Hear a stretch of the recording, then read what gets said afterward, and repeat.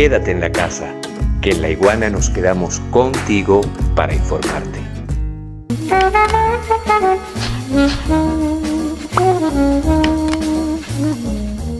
El COVID-19 entonces no es solamente, y eso lo hemos recalcado en programas anteriores, un fenómeno sanitario, un fenómeno que toca el índole de la salud,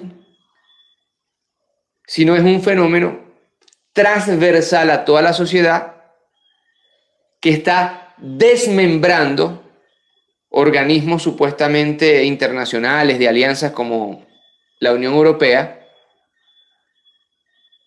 y que está golpeando muy, pero muy fuertemente a la economía mundial.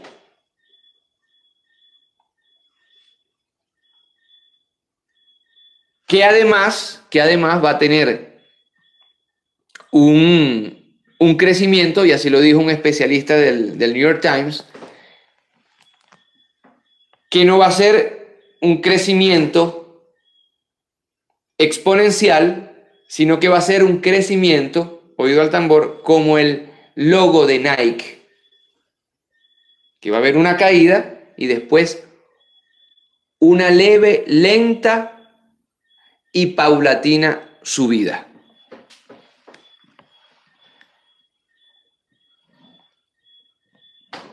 Por eso American Airlines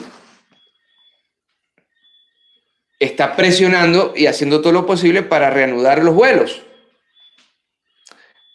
Porque American Airlines, por ejemplo, ha perdido 2.241 millones de dólares durante el primer trimestre del 2020, producto de la caída del tráfico aéreo. Y pregunto yo, American Airlines, ¿qué, qué vas a propiciar? ¿La cuarentena o la apertura total? La apertura total es un negocio. Entonces nos encontramos en una cuerda floja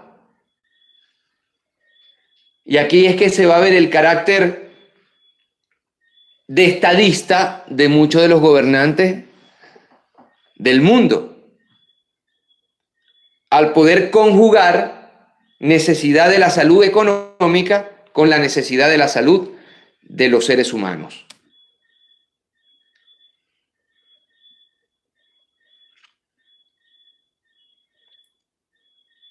O para volver al caso de Ecuador, y, lo nombramos brevemente,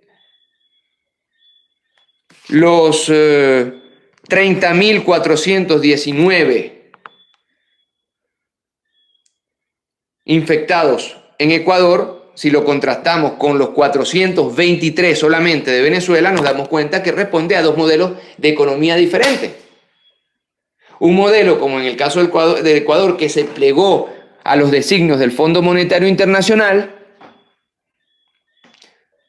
que te da plata pero te pide reestructurar tu sistema, por, ejemplo, sanitario, y privatizar tu sistema sanitario porque ellos lo ven como un gasto y no como una inversión. Y aquí están los resultados. 30.419 infectados y un país cercano y, parecido en, varios, eh, en varios aspectos como Venezuela solamente tiene 423.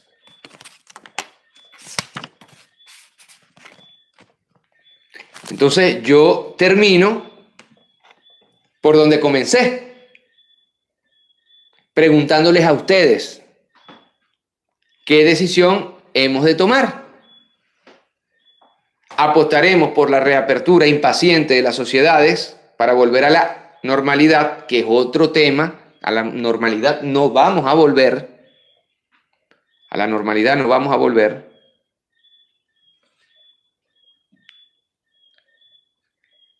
Y de hecho, de hecho, estamos trabajando ya con nuestro equipo de investigación para mañana una, una afirmación del, eh, del filósofo Jung-Sul Han, que seguro muchos de ustedes conocen. Jung Shul Han. Él dice, de ahora en adelante viviremos como en un estado de guerra permanente. Lo repito, a partir de ahora, mañana vamos a profundizar en este artículo, a partir de ahora vamos a vivir en un estado de guerra permanente.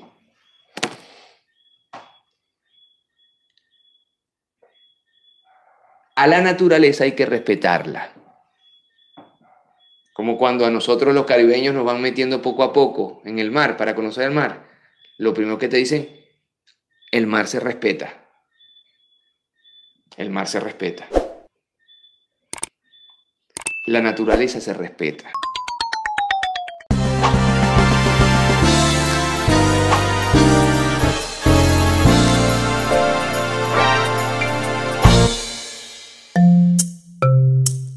Laiguana.tv La verdad hecha tendencia.